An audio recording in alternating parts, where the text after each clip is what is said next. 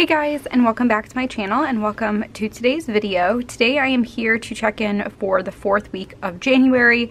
I am not quite ready to close out my January budget so today we're just going to check in, see where we're at for the last like six days or so of January. We do still have to like go grocery shopping, we still have a weekend of potentially eating out. So I just wanted to kind of check in, see where we're at, see what we're working with, and that way we can go in to these last six days with the best possible information that we have available to make the best decisions financially. So we're gonna go ahead and do that. My internet is right now off. I don't know what is happening. This morning I woke up to check the um, temperature in the office because it's like, it feels like negative 18 today. And of course my internet was messed up and I restarted the modem twice now and for some reason it's still not working. So I'm really hoping that after getting this video filmed, it's magically working again because my goodness, it's always something. So we're gonna start with groceries and we're going to have, I know we're going to be over budget. I know it when I went into this month, I had best intentions, but I swear January just is one of those months. I don't know what it is, but something happens and it just, I don't know. It always seems to go downhill in January. So it looks like the last time that we checked in was right around the 19th, so I'm gonna go forward. So we went to Costco, we picked up, um, I believe we just picked up like bananas and then must have been something else in addition to bananas. Water. We picked up water bottles and bananas, so that was 7.51. At Target we spent 3.15. This was just for some like ice cream and things like that um, for around the house. So that was 3.15. And then Jason actually went to Jewel and Aldi and got our normal grocery haul for the week. So 32.90 at Jewel and 107.95 at Aldi. Now last time we checked in, we definitely did not have enough to be spending as much as we did. We left off with 82.61 for the remaining two weeks and we ended up spending 151 51 and again last time remaining we had 165.22 which means that we currently only have $13.71 remaining so that is not enough for an entire week's worth of groceries. So we're definitely gonna be over budget when it comes to groceries. Next week is gonna be kind of an odd week because we do have, um, we do have a like dinner that we're gonna be going to, which will eliminate one of the meals that we have to purchase. But yeah, we're still like, I mean, we still have to buy lunches and breakfasts and just you know, lunch or dinner for a few nights at least. So $13 is not gonna cut it. Of course, I'm gonna speak to Jason when, you know, we're starting to get through like meal planning and stuff for the week and I'm just gonna you know, say, okay, going in with $13. So if we could try and shop our pantry, shop our freezer as much as possible.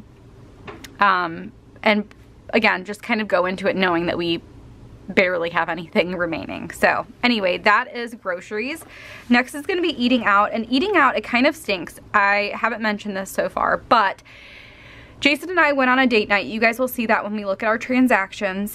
And the next day, our credit card um, wasn't stolen, but we had all of these fraud charges on our credit card. And this has happened before in the past, when I went to go visit my sister once in Florida, I paid for lunch or dinner um, for all of us and I swear the next day my card had all of these random charges. It kind of stinks that when you go out to, you know, to these places that something happens while your card is, you know, with them and somehow it ends up, you know, getting the information stolen. Again, I don't know for sure that that happened while we were at dinner. There's no way to really prove that, but it just, it's weird how it's happened twice in a row. And the only time it's ever happened was when we actually gave our card to someone to charge it. So kind of a bummer there, but um, the whole reason why I brought that up was because our charges have been coming in super weird. Like we went to Starbucks after we went sledding with the girls because they wanted hot chocolate, so we got hot chocolate, and I actually didn't have a coffee that day, so I picked up a mocha from Starbucks, and that just showed up yesterday, even though, like, you know, it's been a few days. Same thing with Panera. We actually went to Panera. Was that on, was that on Sunday? Actually, you know what? I think we went to Starbucks on on Sunday. Anyway, regardless, we went to Panera on Saturday and that charge still has not shown up. It's so weird. I don't know why like charges are coming in here or there. Like I have to change all of my credit card information, which is such a pain because it's linked to so many things. So it's just a pain in the butt having to do that. So I'm just going to record what I have as of right now. But of course I put in a little reminder because that charge should show up at some point. So like I said, Starbucks of 1016 here. And then we actually grabbed dinner that was $23.41 over here. So that brings us to a total of $33.57. 33.57. Last time we checked in, we only had 24.47, which means that we are $9 and 10 cents over. We went into, you know, getting, um, going out to eat knowing that we had very little left. We were okay with it. Um, we have a little bit of wiggle room in our budget, so we were okay with it. And again, I kind of go into January with the best intentions, like, oh, we're gonna stick to our budget as much as possible, but it's January. I swear it's just a cursed month for us. We seem to always have trouble like with spending for some reason in January. Like it seems like our groceries are always a lot higher, our eating out's always a lot higher. I don't know if it's from like going from spending so much time with other people to not spending time with people or if it's just freezing cold so like we tend to go out or order in more.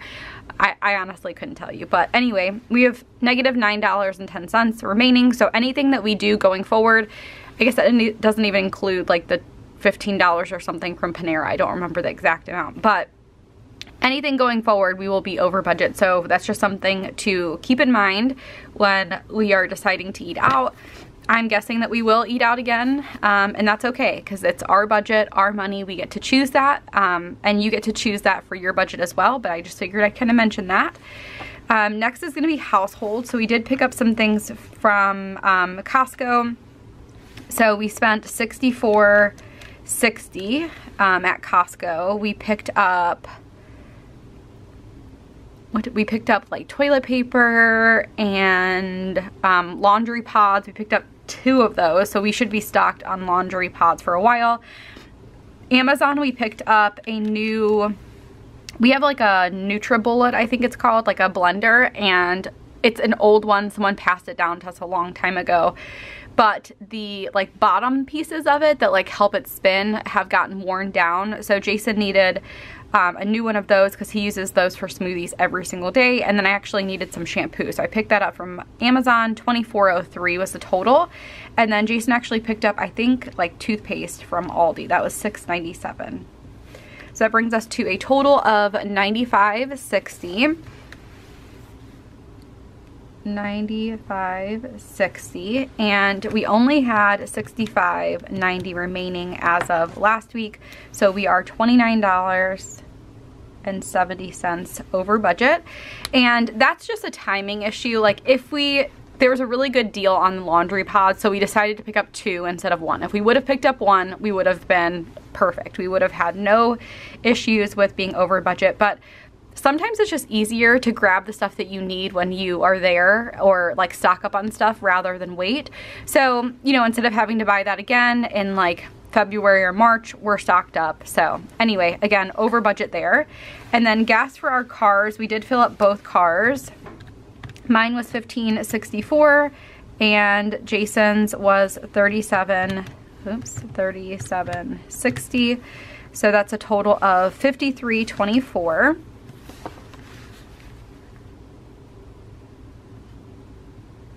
Last time we checked in, we had 124.13 remaining. So that brings us to a total remaining of 70.89. I may need to pick up, I may need to fill up gas for my car. When Jason went, something was going on with the pump, so he wasn't able to fill it up all the way, which is why it's lower. Um, it, it normally costs like, you know, at least $20 to fill up my car. So anyway, we have plenty left there and that may help offset some of the overages that we're going to have. And then for unbudgeted, we have nothing new. I'm just trying to make sure that I didn't miss anything. I know that I don't have that Panera and there may even be like a car wash or something that we need to put in. But I, again, I don't have record of it because my card is being weird. They may be updating it right now because I couldn't get into my app. So, so yeah, the only thing that we had unbudgeted for the entire month was my um, transformation challenge that I have with Orange Theory. We're gonna be starting that very soon. Um, and then for sinking funds, we did pick up diapers. We picked up diapers at Costco and then we picked up diapers um, again at Target because we are starting to need nighttime diapers for Mila. She's been leaking through every single night. Mila sleeps like a champ. Um, I would say like for most nights she probably sleeps over 12 hours. The girl loves to sleep. Um, so anyway, um, Jason's been picking up stuff for our door to fix it. I think he's gotten started on the project, but it's still not complete. I picked up Macy some clothes. Um, I got her a shirt that matches a shirt that I have, which she loves doing that. And then a father-daughter dance dress. It was really cute. That was $44. Diapers, like I said, $26.99. Those were the nighttime diapers. Me and Jason went out to dinner, like I said, probably the night that our credit card information got stolen. That was $52.69. That came out of entertainment. Our entertainment and vacation funds are now combined, so it gives us a little bit more flexibility to do things like like date nights without, you know, being completely over when it comes to entertainment. Diapers at Costco were $42.99. Our Costco membership recently was due, so that was $60. Um, and then Jason did have some medical bills come in, 138.80 and then 94.10. One thing that I like to do is I like to put the dates that the um, medical like transactions happened. So I know that the first one was probably for his echo. And then the second one that we got in was actually for labs, like blood work that he got done. So, and the other thing is this one was from January. So this will be for this year's deductible, whereas the first one was for last year's. Um, I do think there's going to be at least one more bill that's coming through for like his follow-up doctor's appointment, but we haven't received that just yet.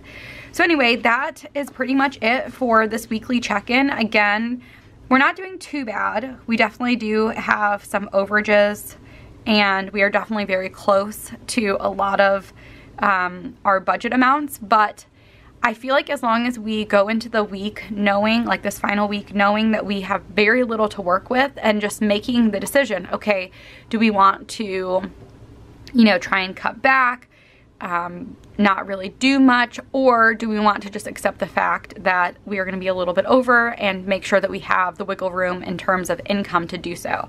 So we'll see.